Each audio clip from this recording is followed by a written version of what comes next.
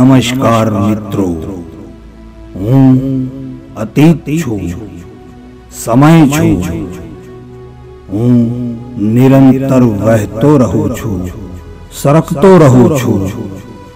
યુગો યુગોની અનેક ઘટનાઓને મારી આઘોશમાં સમાવીને આગળ વધતો રહું છું. મિત્રો, અતીતના પડળમાં મેં કેટલી ઘટનાઓ એવી જોઈ છે કે જેને આજે વર્ષો વીતી ગયા પછી પણ હું ભૂલાવી નથી શકતો. આજે પણ એ ઘટનાઓના પડઘા મારા ઝહેનમાં ગુંજે છે. હા, મિત્રો, હું વાત કરવા જઈ રહ્યો છું એક એવી ઘટનાની કે જેને જોઈને હું પણ થોડી વાર થંભી ગયો હતો. કદી એ વિચલિત ન થનારા મારા મનમાં પણ પીડા જાગી હતી. આ વાત છે એવી બે દીકરીઓની કે જેની સાથે વિધાતાએ ક્રૂર રમત રમી હતી. ભગવાન પણ તેની અરજ સાંભળતો નહોતો. પોતાના જ તેનો સાથ છોડવા લાગ્યા હતા. માથેથી માતાની છાયા અને હૂંફ છૂટવા લાગી. દીકરીઓને જીવન બોજ લાગવા લાગ્યો. એ સમયે એક ઘટના બને છે. ફૂલ જેવી બાળકીઓને નફરત કરનારા માણસના હાથમાં એક એવી વસ્તુ આવે છે કે તેને જોઈને ધ્રુજી ઉઠે છે. અને એ લાચાર દીકરીઓ સામે આવે છે. ઘૂરીને જુએ છે. બંને દીકરીઓ ફફડે છે. પછી શું થાય છે? પેલા માણસના હાથમાં એવી તે કઈ વસ્તુ આવી છે કે બંને દીકરીઓની પાસે આવે છે અને દીકરીઓનું શું કરે છે? એ જોવા માટે ચાલો આપણે જઈએ અતીતમાં પાછા જઈને આ ફિલ્મ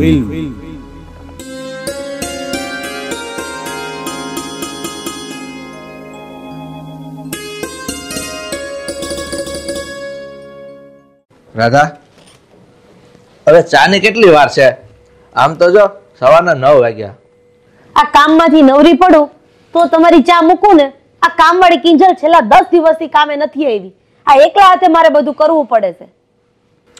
અરે હું એમ કહું છું એ કિંજલ દસ દિવસથી બીમાર છે. એ હાજી થઈ જાય એટલે આવશે. પણ કિંજલ કેટલા દીથી બીમાર છે? આટલા દીમાં ગમે એવો રોગ થયો હોય ને તોય મટી જાય.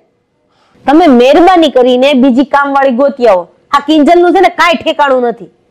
તું બે ત્રણ દિવસ વાંચજો હું કામ ને એ બિચારીને છૂટી કરી અને એના પેટ ઉપર પાટું મારશો.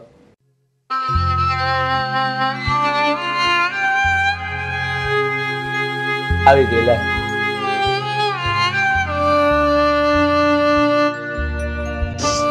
કિંજલ!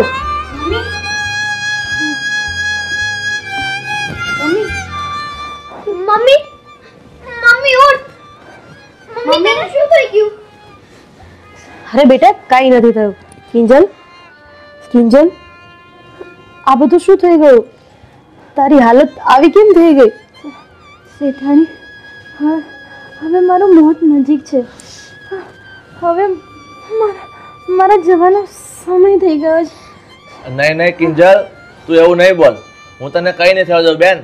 ચાલ હું તને હોસ્પિટલ લઈ જાઉં. મારે હવે હોસ્પિટલ નથી જવું. હવે હવે મારે જવાનો સમય થઈ ગયો છે. પણ શેઠ જતાં જતાં હું હું મારી મારી એક જવાબદારી તમને સોંપતી જાઉં છું. મારું મારું એક કામ કરશો ને શેઠ? હા હા બેન. હું તારી દરેક ઈચ્છા પૂરી કરીશ. બોલને બેન તારે શું કહેવું છે? શેઠ હા હા મારી બે દીકરીઓનું મારા ગયા પછી કોઈ નથી એ એ અનાથ થઈ જશે શેઠ. તો મારી મારી આ બે દીકરીઓને તમે રાખશો ને? હા, બેન. હું તારી દીકરીઓને મારી ઘરે રાખીશ અને એને સંભાળીશ. બસ, આ મારું વચન છે તને, બેન.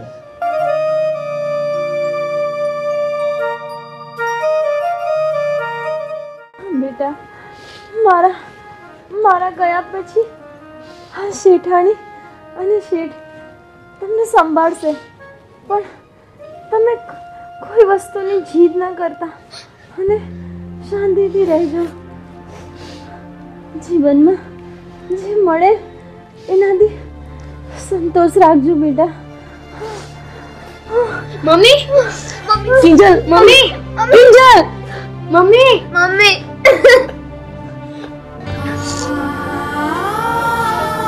mummy mummy શું થયું મમ્મી એકવાર આંખ ખોલ ને mummy mummy mummy mummy mummy mummy मग एक पण अंकुल तुम्ही तुझा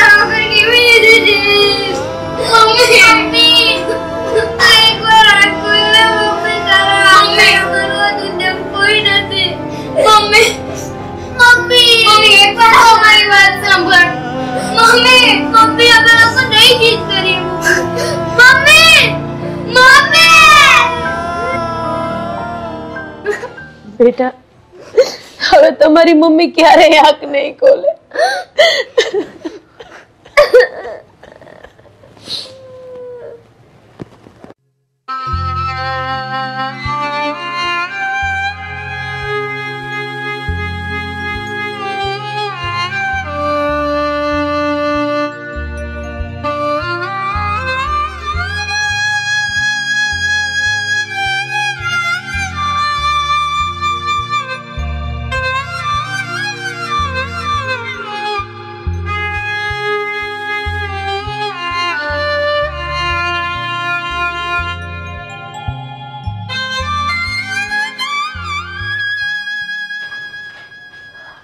કેવું બની ગયું? અચાનક કિંજલ આ દુનિયા છોડીને જતી રહી.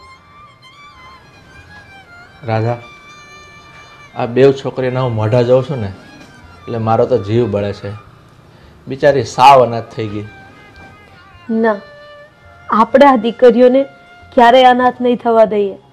અરે આપણે આપણી સગી દીકરી કરતાં પણ વિશેષ એને ઉછેરશું મોટી કરશું અને એક મા બાપનો પ્રેમ આપશું. અને આમય. ભગવાને આપણને ક્યાં કોઈ સંતાન આપ્યું છે? આપણે એમ જ માનશું કે આપણી જ દીકરીઓ છે. તારી વાત બરાબર છે રાધા. આ છોકરીઓને છે ને હવે આ દુનિયામાં કોઈ નથી.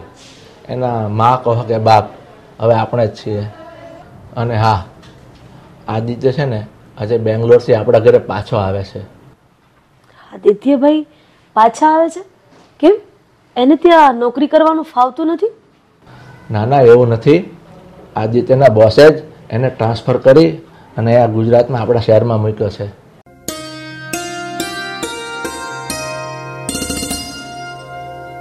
મોટા ભાઈ ભાભી કેમ છો?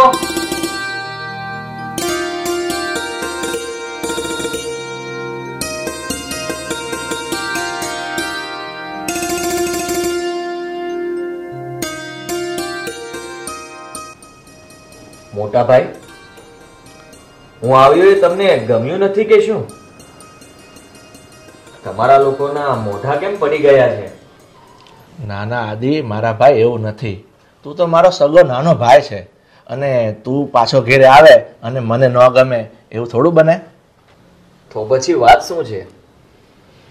તમારા બંનેના ચહેરા કેમ ઉતરી ગયા છે? કંઈ ન બનવાનું બન્યું છે? આદિભાઈ આપણા ઘરે જે કામવાળી કામ કરતી હતી ને એ કાલે ગુજરી ગઈ. હે ભગવાન કામવાળી ગુજરી ગઈ? તો એમાં તમે લોકો એટલા બધા ઉદાસ શા માટે થાવ છો? આદિભાઈ એ કામવાળી તો ગુજરી ગઈ પણ એની બંને દીકરીઓની જવાબદારી અમારા હાથમાં સોંપીને ગઈ છે. એટલે એ બંને છોકરીઓને તમે લોકોએ આપણા ઘરમાં જ રાખી છે એમને? તમે બંને લાગણીના આવેશમાં આવીને ગાંડા થઈ ગયા છો? એક સામાન્ય કામવાળીની છોકરીઓને આપણા ઘરમાં રાખવાની શું જરૂર છે? અનાથ આશ્રમમાં મૂકી આવો ને. આદિ, મારા ભાઈ એવું નથી. આ કિંજલ મરતે સમયે એ બે દીકરીઓની જવાબદારી અમારા પર સોંપતી ગઈ છે અને એણે અમારા પર એક ભગવાન જેવો વિશ્વાસ મૂક્યો છે. એ વિશ્વાસને અમે તોડી શકીએ થોડા? સરસ. મોટા ભાઈ આ સરદારનગરમાં આપણો એક ખાલી પ્લોટ પડ્યો છે ને? હા હા તો એક કામ કરો ને તમે લોકો ત્યાં જાઓ અને એક અનાથ આશ્રમ બનાવો. એટલે હા રખડતા ભટકતા છોકરાઓને ભેગા કરો અને એના ઉછેર કરો. જાઓ.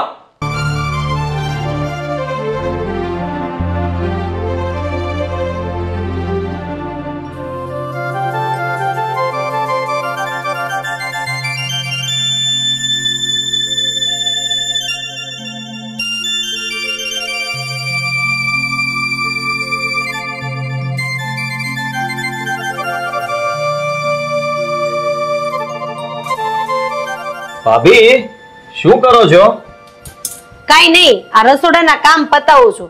હવે જલ્દી મારી માટે એક દેરાણી લઈ આવો ને તો મને આ રસોડાના કામમાંથી છુટકારો મળે.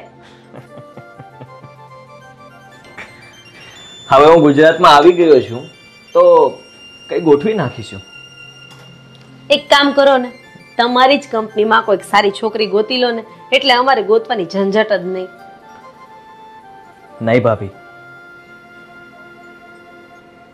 મારે હવે એ બધા લફડામાં નથી પડવું. એકવાર તો પ્રેમ કરીને પછતાયો છું. તમે મને તમારા પેલા પ્રેમ પ્રકરણની વાત તો કરો. કારણ કે આ વાત અમારા લગ્ન પહેલાની છે. એટલે મને આ વાતની કાંઈ જાણ નથી. અને મને જાણવાની ઉત્સુકતા પણ છે. અરે જવા દો ને ભાભી. કઈ વાત નથી. અને એમ પણ. હું મારા રૂજાયેલા ઘાવને ફરીથી ખોતરવા નથી માંગતો. અરે આદિભાઈ મને આ વાત કરશો ને તો તમારું મન થોડુંક હળવું થઈ જશે. તમે આ વાત તમારી ભાભીને નહીં કહો. મને આ વાત જાણવાની ઈચ્છા તો છે જ.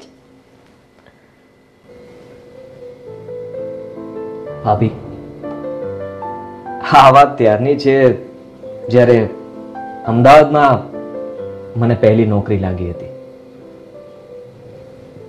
હું બસ એ નોકરીના પહેલો દિવસ.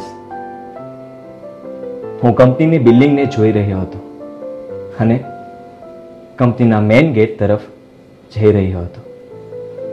અચાનક જ મારા પગમાં ઠેસ આવી. મેં જોયું તો અંગૂઠામાંથી લોહી નીકળી રહ્યું હતું. હું ત્યાં સાઈડ પર બેસી ગયો અને વિચારતો હતો કે શું કરવું. ત્યાં અચાનક સામેથી એક છોકરી એક્ટિવા લઈને આવી. મારી પાસે ઊભી રહી અને પોતાના પર્સમાંથી રૂમાલ કાઢીને મને આપ્યો. પછી એ જતી રહી. બસ. ત્યારથી શરૂઆત થઈ અમારી.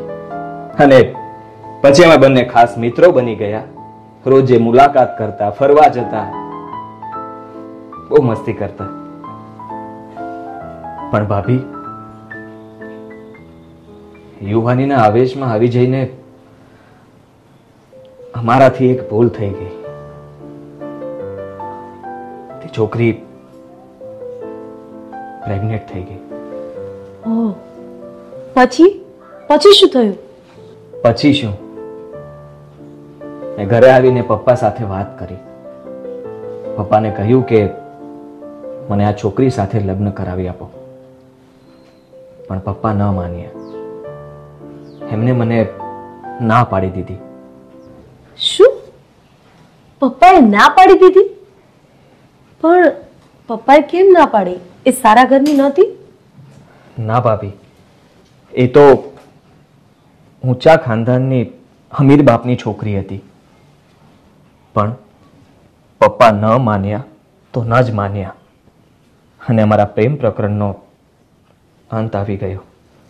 પણ પછી શું થયું? એ છોકરી તો પ્રેગ્નન્ટ હતી ને? પછી મને નથી ખબર ભાભી કે શું થયું. હું તો ખૂબ જ દુઃખી હતો અને પછી હું બેંગ્લોર જતો રહ્યો અને આજે દસ વર્ષ પછી પાછો આવ્યો છું.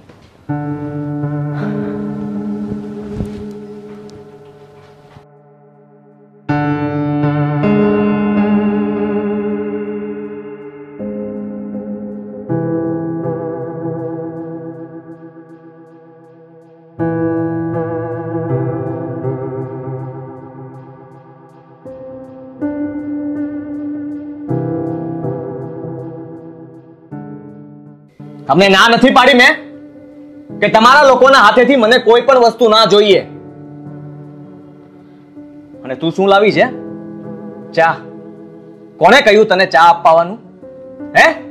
ભાભી મેં તમને કેટલી વાર કહ્યું છે કે આ બંને છોકરીઓને મારાથી દૂર રાખવાની. હવે મારી સામે શું જોવો છો? સત્યાનાશ. આંધળી છો? દેખાતું નથી તને?